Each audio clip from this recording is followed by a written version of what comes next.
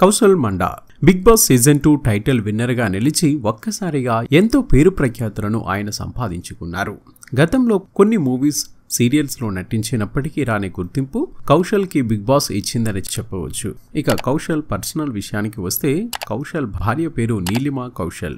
Kaushal big బాస్లో ఉన్నప్పుడు నీలిమా కూడా తన వంతుగా కౌశల్ టైటిల్ విన్నర్ అవ్వడానికి ఎంతో సపోర్ట్ చేశారు.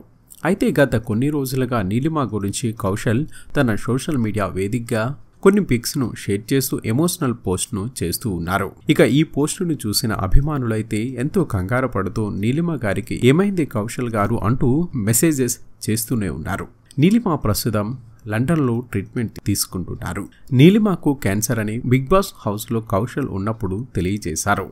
అయితే ఆ తర్వాత తనకు ట్రీట్మెంట్ ఇప్పించగా కొన్ని రోజుల వరకు నీలిమ బాగానే ఉన్నారు. మళ్ళీ ఇప్పుడు తన ఆరోగ్యం బాగాలేదని సమాచారం. ప్రస్తుతం కౌశల్ చేసిన ఒక ఇన్స్టాగ్రామ్ పోస్ట్ నెట్టింట వైరల్ అవుతుంది. తన భార్య నీలిమ గురించి ఒక ఎమోషనల్ పోస్ట్ చేశారు కౌశల్. నువ్వు ఏదో సాధించడానికి ఆరాటపడుతున్నావు.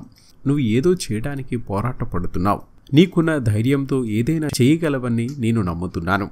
నువ్వు త్వరగా కొలుకొని మళ్ళీ నీ కలల కోసం పోరాడు. నిన్ను అనుక్షణం ప్రేమిస్తూనే ఉంటాను. మిస్ యూ అంటూ పోస్ట్ చేశారు కౌశల్. ఈ పోస్ట్ చూసిన వారంతా కౌశల్ గారు నీలిమ గారికి ఏమీ కాదు.